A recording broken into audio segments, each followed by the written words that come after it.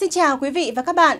Thưa quý vị và các bạn, trong ngày quốc tế lao động 1 tháng 5 hôm nay, thời tiết trên cả ba miền đất nước đều khô giáo và có nắng, thuận lợi cho người dân tham gia hoạt động ngày nghỉ lễ.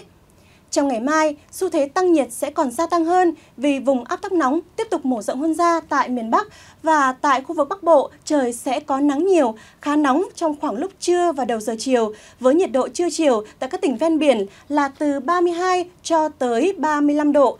Tại vùng Trung Du và thủ đô Hà Nội là từ 33 cho tới 35 độ. Khu vực Tây Bắc còn có nắng nóng cục bộ với nhiệt độ cao nhất ngày tại một vài nơi như là Mường Tè, Mường Lay và Sơn La, Sông Mã, Yên Châu sấp xỉ từ 36 cho tới 37 độ. Mưa hầu như ít xảy ra trên khu vực nên vẫn thuận lợi cho hoạt động du lịch của người dân trong kỳ nghỉ lễ. Tuy nhiên, đến khoảng từ chiều tối và đêm ngày mùng 3 sang ngày mùng 1 tháng 5, khối không khí mát từ phía Bắc sẽ lại di chuyển xuống nước ta.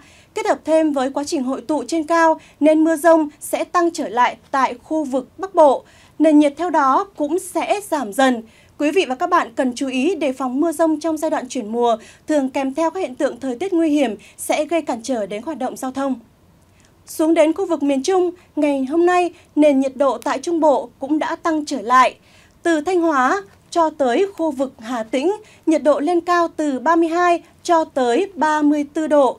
Còn từ Quảng Bình cho tới khu vực Phú Yên là từ 34 cho tới 36 độ. Và phần còn lại, từ Khánh Hòa cho tới tận khu vực Bình Thuận có nhiệt độ trưa chiều cũng vượt ngưỡng 32 độ. Trong hai ngày tới, nền nhiệt độ tại miền Trung tiếp tục có xu hướng tăng cao, phổ biến dao động từ 34 cho tới 37 độ.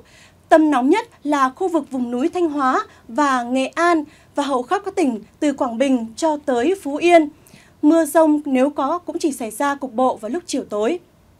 Từ tối và đêm ngày mùng 3 tháng 5 sang ngày mùng 4 tháng 5, thời tiết tại phía Bắc miền Trung khả năng sẽ chuyển nhiều mây, có mưa rông rải rác. Trong cơn rông cần đề phòng khả năng có tố lốc xoáy và gió giật mạnh.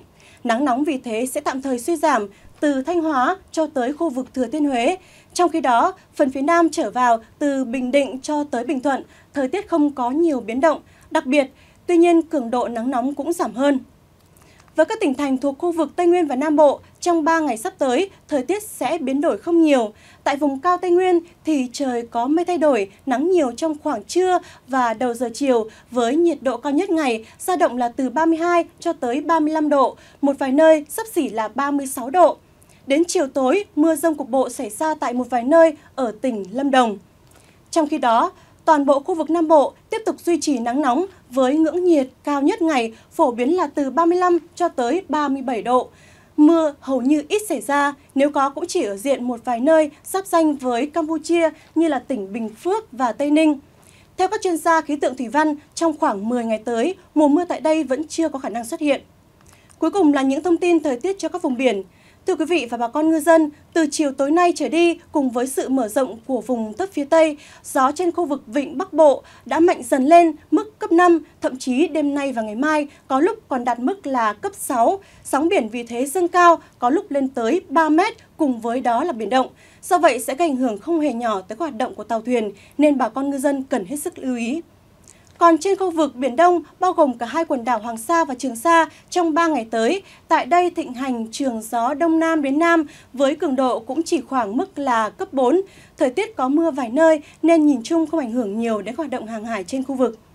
Những thông tin vừa rồi đã khép lại bản tin thời tiết cuối ngày hôm nay và tiếp theo là phần nhiệt độ chi tiết tại các tỉnh thành trên cả nước trong ngày mai. Chúc quý vị có một đêm ngon giấc. Còn bây giờ, xin kính chào và hẹn gặp lại.